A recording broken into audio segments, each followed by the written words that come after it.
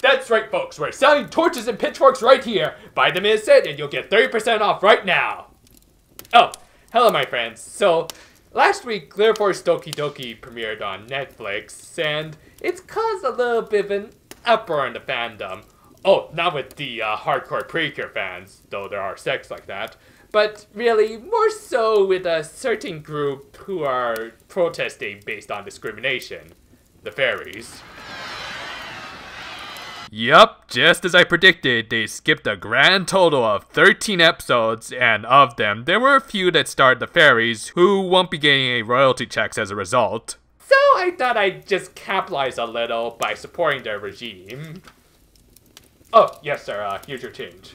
Still, fairy civil rights aside, how did Glitter Force's second outing fare overall? Did all these omitted episodes completely gut the series, or did the English dub make up for all of its shortcomings? Ah, oh, jeez, I couldn't even finish that sentence. Let's just look at the fallout this show left in its wake.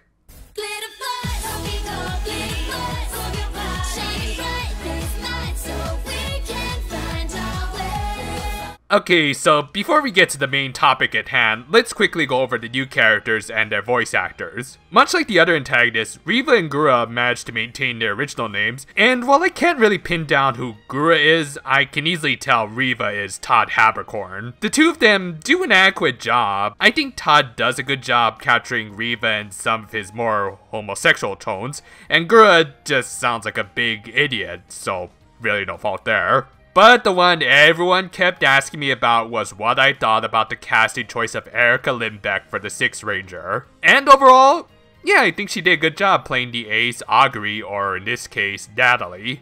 As most of us know, Natalie's transformation involves her aging up into Ace, meaning that the actress needs to play both a little girl character and a young adult woman. And yeah, Erica has more than enough range to pull it off, unlike some of her cohorts who will go unnamed. Granted, I don't think it was her best performance. That article is more to her playing the living representation of this beauty right here. Though, when you really think about it, Uzume's transformation is kind of the polar opposite, isn't it? Oh, I finally won against Doggy! Doggy? Hmm. Interesting how that works out. But yeah, anytime you can remind me of my precious orange heart, then you have my vote. So again, no real complaints as far as actors are concerned, even though I am kind of getting tired of hearing Haberkorn all the damn time. Still, good performances or not, we can't simply overlook at what this adaptation left on the cutting room floor. To this show's credit, at least they made my job a little bit easier by not pulling any more of that half episode nonsense from season 1, and just took out whole episodes. So let's see, from the perspective of its source material, they skipped episodes 28 and 29, episodes 32 through 38, 40 and 41, and episode 44. Okay, maybe my job's not that much easier. But hey, at least they kept in the Diamond and Ira episodes, so yay. Alright, starting from the top, episode 28 was admittedly a little bit more of a fillerish episode with the girls going to a Japanese summer festival and Aguri becoming friends with her classmate. I say Aguri because I'm pretty sure Natalie never interacts with this girl even though she does appear briefly in another episode. This is another case where the episode may have been a little bit too Japanese and the massive amount of signs they would have to edit would be a pain, so I understand. And if this had been one of the few episodes they omit, I don't think it would have been that much of a big loss. Too bad it's not one of the few, and certainly not the last potential Natalie episode they skipped over. 29 was one of the episodes that put me in my current situation, with it featuring the fairies transforming into humans for the first time. Speaking for my customers for a minute, omitting this episode was a bad call, I think, as not only was it an entertaining episode, but also gave them much needed characterization. Without it, the fairy partners just come off as your standard annoying sidekicks rather than three-dimensional characters who earnestly wanted their partners to succeed. Oh, but we're just getting started. Ooh, that's a lot of episodes. In fact, enough for a little story arc. You know, I don't want to have to cover all these episodes. If that were the case, I may as well just do my Doki Doki Precure right now, so I'll just summarize them. So, at the end of episode 31 of Precure, or 23 of Glitter Force, Belle essentially kills both Riva and Gura by extracting their powers after their latest loss. It's an awesome scene in either version that makes it look like the dude is finally going to step up his game. In Precure, he does this by creating the blood rings out of the extracted energy from Riva and Gura to power both him and his allies. In Glitter Force, though... Nope.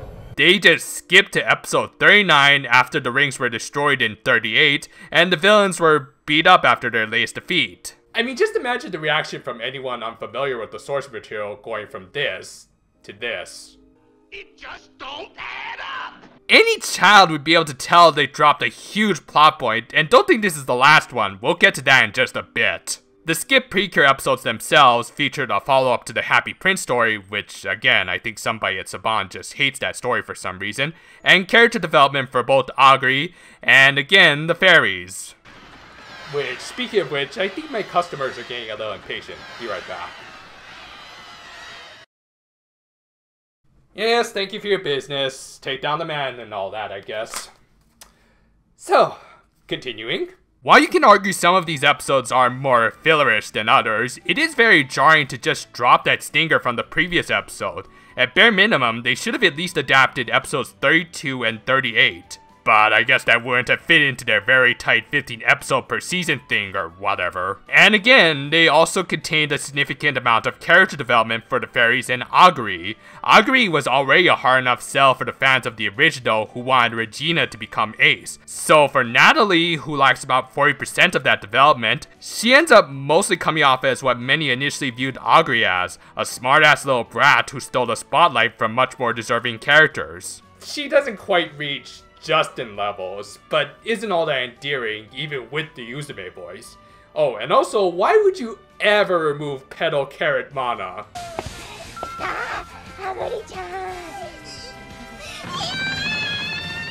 That is just one of the greatest things ever. Moving on, I'll hold off on episode 40 for now, I want to save talking about that for last, so let's just get right into 41, 42, and 44. 41 is filler, I'll admit, but also does serve to give closure to a side character who did appear in Glitter Force, so it is a shame it was skipped. 42, yet again, was an Aguri episode that also acted as build-up towards the big reveal of the season. It wasn't 100% necessary, but again, Natalie has gained a shaft on character development. 44 was a Christmas episode that featured the return of Joe, so of course in Glitter Force he just returns out of nowhere. Cause really, who cares about continuity at this point? Oh, and also there was a kind of nice scene between Regina and King Selfish that really highlighted how torn she is between the two opposing forces. Powerful scenes like this are missed, but again, they're not totally necessary. The last on the docket, however, had a very powerful scene and was very plot significant, and was the breaking point for me in this series. So, episode 40. You know, not only is this a very plot important episode for the series, it's also one of my all time favorite Precure episodes ever. And yet, deep down, I knew they were going to skip this one, mostly because of its main attraction. And I get it, budget and all that, but you know, ultimately, this just highlights why a Precure adaptation cannot work under such constrained conditions. So, for those unfamiliar, the main plot of this episode features Makoto trying to use her music to help win Regina back from the clutches of her father. She works tirelessly to complete the song not only because it was her duty as a precure, but also because she had become a genuine friend to Regina and wanted to rescue her from her father's manipulative ways. And when she finally does sing it for her, it's an amazing scene. I'll do a more proper analysis of this scene at another time, but in short, it perfectly highlights everything great about Precure. If I ever wanted to introduce my friends to this franchise, this would be one of the first episodes I would show them. So while I can understand them not adapting this episode likely because of that whole song sequence, Not that that stopped Wendy Lee and Haruhi, but different shows, different budgets, I guess. I see little merit in watching this show over the original if that's the case. Cause guess what, on top of missing out on this spectacular scene, they also lost out on the debut of the final power-up of the series. Yeah, and Precure made sense that they earned this power thanks to Makoto's efforts, so then what did they do in Glitter Force to explain the sudden appearance of this harp thing and new finisher after they had only used the Royal Flush finisher a grand total of two times? Nothing.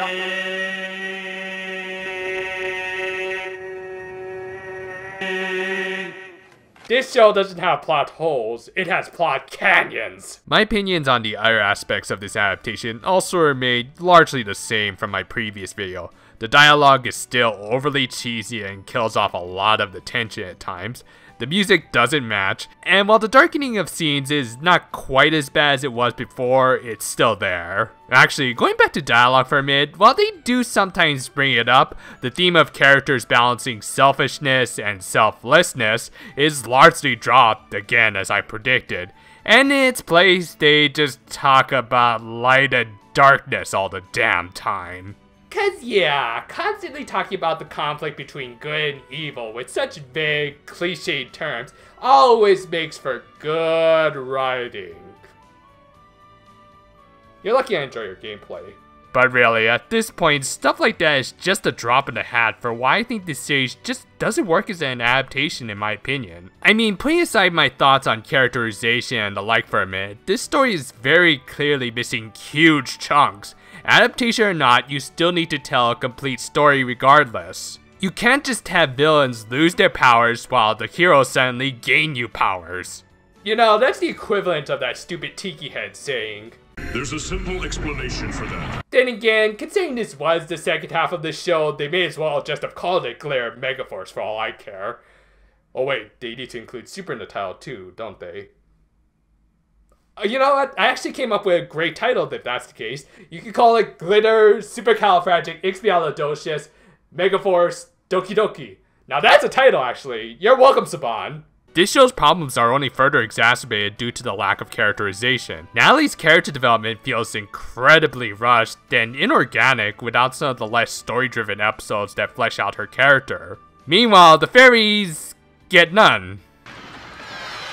All in all, while Glitter Force Doki Doki is far from the worst thing to ever happen to the Precure franchise, it is an unsurprisingly shoddy adaptation from a company that's well past its prime at this point. Now, all that said, if you enjoyed this series as well as the previous one, then more power to you. I know this series has its followers who even argue it's better than the original. I would wholeheartedly disagree with them, but I also won't say they're necessarily wrong. I actually have a follower on Twitter who is really enthusiastic about this show, at least a lot more than me, and he even makes pretty good AMVs about it. You can go check out his channel, I left a link in the description.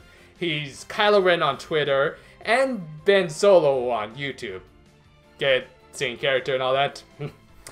And yeah, I guess I should be at least grateful that Precure is being introduced to a much more international audience in some form. Not the best form in my opinion, but at least it's something. And if it can encourage others to track down the original or even check out stuff like Fresh and Heartcatch, then at least they accomplished something, so take my words with a grain of salt. Personally, I'm never gonna watch this again. I've got a lot of better things to watch on Netflix anyways. And you know what? I know I said I was going to do Sweet Precure next, but I gotta do something to clean my palate. So next time, top Precure insert songs. And until then though, farewell for now my friends and happy hunting.